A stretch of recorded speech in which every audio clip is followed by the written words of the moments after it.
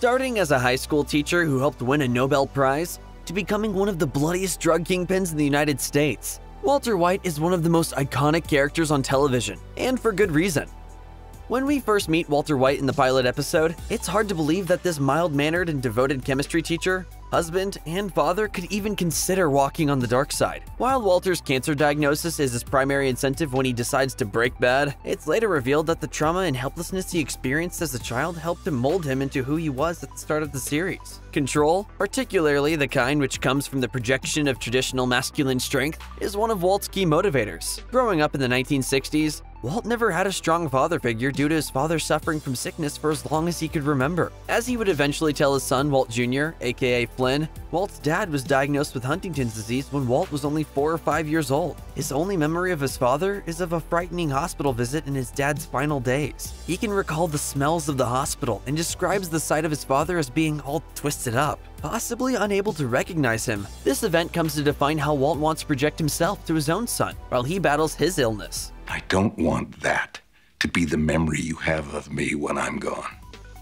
With his lifelong love of science, Walter White seemed destined for greatness during his college years. While a grad student at the California Institute of Technology, he studied X-ray crystallography and formed a close friendship with fellow scientist Elliot Schwartz. Together, they formed the company Gray Matter Technologies, a name inspired by combining their surnames. Schwartz is German for black, and combined with white gets us gray.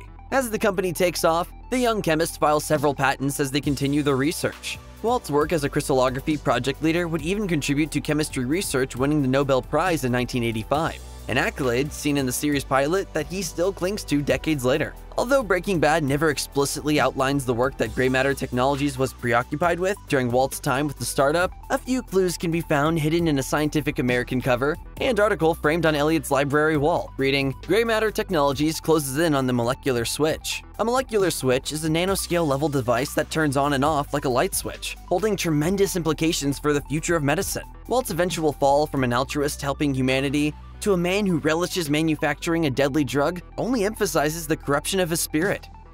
Walter White's transformation from mild-mannered science guy to Machiavellian meth manufacturer can look like a fall from grace, but he's been repressing his darker side since long before cooking his first batch of crystal, something his former partners Elliot and Gretchen try and eventually fail to overlook. Like many narcissists, Walt has a way of maintaining relationships without revealing the true toxicity of his inner nature. These traits only emerge when he feels threatened competitive, or not fully in control. A hint of this inner darkness is first revealed in Walt's relationship with his Gray Matter colleagues, foreshadowing the Shakespearean downfall to come. As a young scientist, Walt was set on a course most could only dream of as his business started to take off, and he became engaged to his lab assistant Gretchen. But after meeting her wealthy family, Walt abruptly broke things off, selling his share of the company for a measly $5,000. As show creator Vince Gilligan told Huffington Post, Gretchen's wealth kind of blew his mind. It made him feel inferior and he overreacted. He just kind of checked out. Since the story is told from Walt's perspective, it can seem like Elliot and Gretchen cut him out of the company and profited from his ideas while leaving poor Walt out to dry. It's an idea that Walt is happy to perpetuate. So much so that the lawyer Saul Goodman in Better Call Saul suggests Walt sue the pair. Wrongful termination, intellectual property theft, uh, patent fraud. I mean, I could have sunk my teeth into this.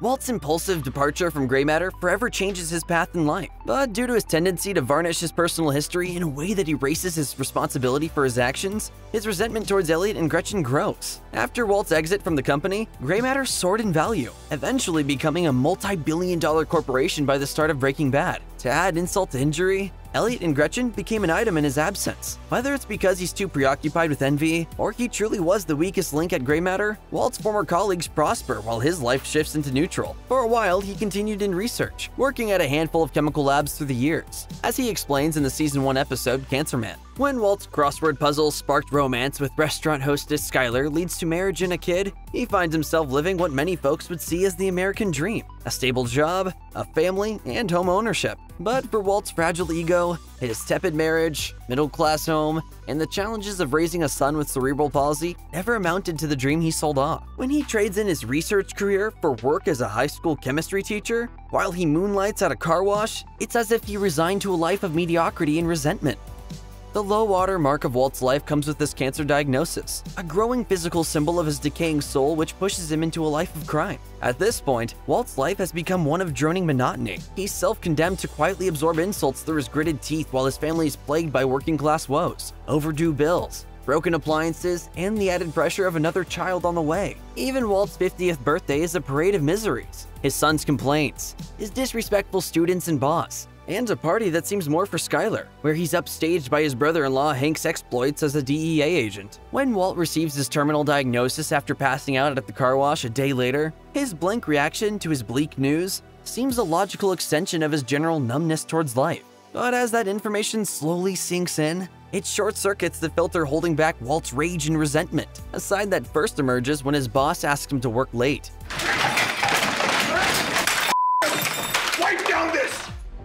With his looming death sentence pressuring Walt to leave his family with something to live on, Walt starts to snap out of his numb resignation. But it's a ride along with Hank, during a DEA meth bust that wakes him up to the possibility of breaking bad. It becomes an act of rebellion against both the literal and figurative impotence that have defined his life since foolishly selling his shares in Gray Matter. While financial pressure and family obligations serve as Walt's official reason for getting into the meth business, they're ultimately just his excuse for rejecting the aggressively beige role he settled into. After all, the genesis of Walt's foray into crime came even before his cancer diagnosis when he sees just how much cash Hank sees during a raid in the pilot episode. It's easy money till we catch you.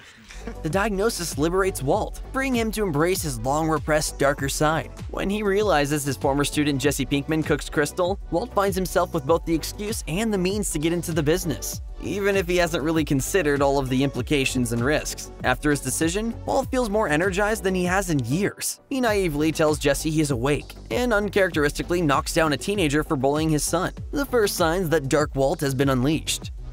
The next stage of Walt's transformation is precipitated by external forces, thanks in large part to his own poor judgment. One of his fatal mistakes is treating the meth business like gig work that he can do for as long or as short as he wants. Despite his advanced chemistry knowledge, Walter lacks any real sense of what drug production is like especially when it comes to interacting with dealers. As every character learns in any story about organized crime, there is simply no dabbling in the drug business. With his mind set on a quick payday and the thrill of doing something the old Walt would have never attempted, Walt immediately finds himself in over his head. When he and Jesse are mistaken as stooges for the DEA by two vengeful dealers, he's forced to cook at gunpoint. Suspecting he'll likely be killed as soon as he's finished, Walt throws together some deadly phosphine gas to get rid of his captors. While this homicidal act of self-defense would leave most people sleepless and traumatized, it initially seems to ignite Walt's libido and empower him, serving as the first of many grim milestones in his long, dark journey.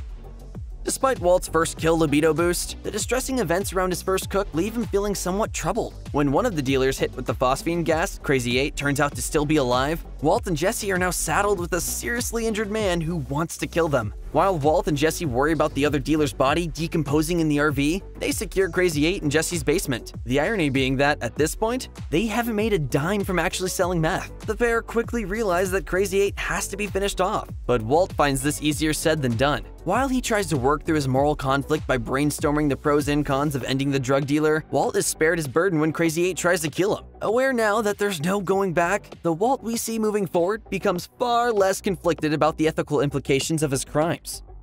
Every crime boss needs a street name. For Walt, his pseudonym Heisenberg becomes something of a sentient alter ego which gradually consumes him. It's a name he takes early on in his underworld career. Inspired by the real-life theoretical physicist, Werner Heisenberg, the name quickly finds its way into a DEA investigation in the Season 2 episode, Breakage. Heisenberg? Yeah, I know.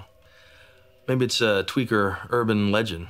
If Walter White is Dr. Jekyll, Heisenberg is his Mr. Hyde. As Walt continues his descent into moral bankruptcy, his actions as Heisenberg become increasingly more horrific. He eventually turns from his more justifiable violence to more cold-blooded killings. By the time he poisons the child Brock in Season 4 to turn Jesse against the Kingpin Gus and save his own skin, Walter White is no longer recognizable. He's now fully Heisenberg, even if he's still hanging on to the illusion of Walter White, science teacher and family man. After getting rid of Crazy 8, Walt's behavior toward Jesse and Skyler becomes increasingly and unapologetically abusive. For a while, he uses his cancer diagnosis as a scapegoat for his actions. But as he gets deeper into the meth business, Walt's actions become more unhinged. Things ultimately come to a head after Skyler learns about his burner phone in the season 2 episode ABQ. Up until this point, Walt has performed his share of unforgivable acts, not the least of which was allowing Jesse's girlfriend Jane to die, an act that would inadvertently result in two passenger planes colliding mid-air when Jane's grieving father, an air traffic controller, makes a fatal mistake. But through it all, Walt continues to feign his old nice guy persona whenever it suits him, often compartmentalizing the darker aspects of his Jekyll and Hyde personality. In the season 4 episode Cornered, Walt finally stops pretending and reveals the truth to Skyler. but she doesn't fully understand how bad things have gotten until Skyler suggests he's in danger. A guy opens his door and gets shot, and you think that of me? No. I am the one who knocks. Walt ends up striking a sort of deal with the devil with Skyler, kicking off a Cold War that lasts the rest of their marriage.